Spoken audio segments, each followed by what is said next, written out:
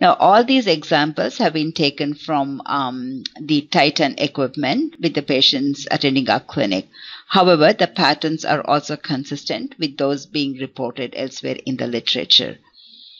Now, to begin with, I need to stress that these are only general patterns associated with the middle ear disorders. The patterns do change with the progression of the disease, and also there's a significant overlap between normal and normal pattern and middle ear pathologies. So it's important to note that wideband absorbance measures they are not standalone measures.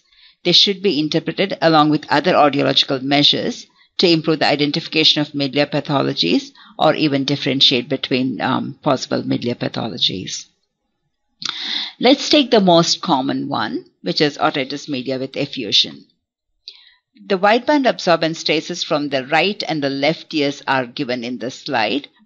Now, the VRA showed a moderate sloping to a mild conductive loss in the better ear. And in otitis media with effusion, one of the common patterns is that the wideband absorbance is reduced in the low to mid frequencies and a sharp peak seen between 3 and 4 kilohertz. Now, ambient and pressurized conditions are affected in similar way with otitis media with effusion. Animal and human studies have shown that absorbance generally decreases as the uh, the fluid fills the middle ear cavity, and more significantly, after about 50% of the cavity is filled with fluid. This effect is seen mostly below the 3 kHz region.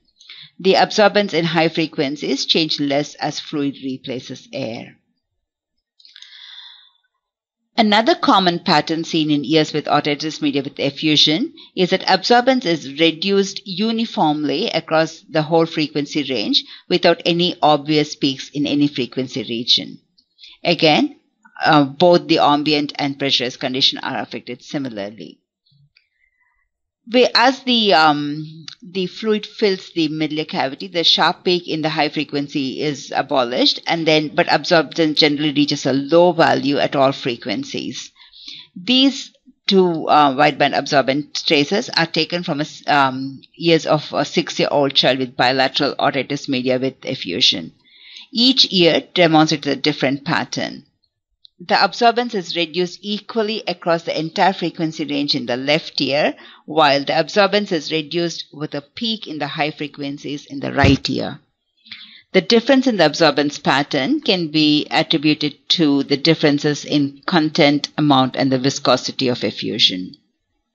For the people who um, evaluate infants and children, we see the middle ear effusion is very common.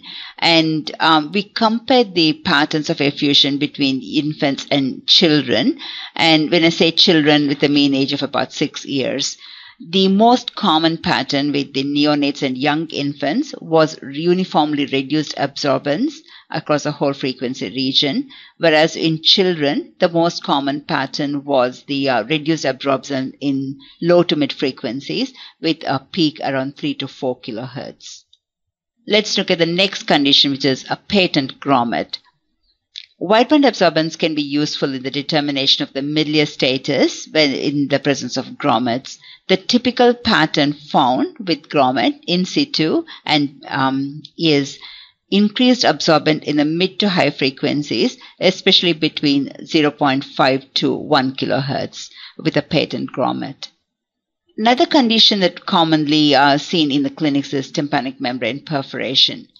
In ears with tympanic membrane perforation, absorbance can be either normal or increased, mainly in frequencies below 2000 Hz.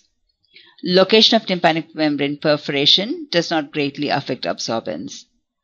However, absorbance varies with the size of the perforation, with the small perforation having the largest effect. Absorbance is shown to increase with tympanic membrane perforation at frequencies below 1000 Hz. It can be pronounced around 1000 Hz for very small perforation, and as the size of the perforation increases, the absorbance peak shifts to higher frequencies. This slide shows a range of wideband absorbance pattern seen in ears with dry perforation. As said earlier, location of perforation does not affect the absorbance much. While there's no generic pattern with various perforation, slightly pronounced absorbance in the low to mid frequencies can be seen as the size varies from pinhole to a total perforation. Most of the studies have been reported on, on dry perforation. Um, our limited experience has shown that unlike dry perforation, there's no absorbance pattern that can be specific to the wet perforation. The next one would be a healed perforation. A compliant tympanic membrane, such as an ear with a, a healed perforation, demonstrates increased absorbance around the 1000 Hz region. However, the absorbance across the mid to the high frequencies will be quite no- within the normal limits. Nevertheless, you have to be careful in um, determining this because even uh, ossicular chain dysfunction can really give rise to an increased um, absorbance pattern around this frequency region. Hence, it's important to couple the wideband absorbance measures with tympanometry to differentiate between an abnormal tympanic membrane and ossicular chain dysfunction. Now, one of the common statements made by audiologists is that C-type tympanograms denote negative middle pressure and possibly eustachian tube dysfunction. However, C-type tympanograms do not always imply eustachian tube dysfunction. C-type can be seen with or without middle effusion. And wideband absorbance can be especially useful in determining ears with and without middle effusion. Let's see how it can be used to uh, determine the presence or absence of effusion. Now, in this slide, the patient had C-type tympanogram, and as it can be seen, the middle pressure was minus 377 decapascal. Hearing was reasonably within normal range with some conductive component present in the low frequencies. But when you look at the comparison of the wideband absorbance and the wideband tympanometric curve, um, you can see there's a large difference between the two conditions. During ambient pressure, which is the line in gray, the absorbance is reduced in frequencies below 2000 Hz and is within normal limits above 2000 Hz. However, under pressurized conditions, at peak middle pressure, the absorbance improves drastically to the normal uh, limits at uh, in the low to mid frequencies. So usually in the absence of the effusion, if it's a negative middle condition, the wideband tympanometric um, curve improves significantly compared to that of the ambient pressure condition. In the next slide, now we look into a, um, from an ear with a confirmed otitis media in the right ear. Tympanometry again showed um, a C-type tympanogram here with minus 364 decapascal. Audiogram showed a mild to moderate conductive hearing loss. And on the graph on the left side, you can see the plotting of both the wideband absorbance at ambient pressure and at peak tympanometric pressure. The absorbance is low across the whole frequency range under the ambient pressure condition.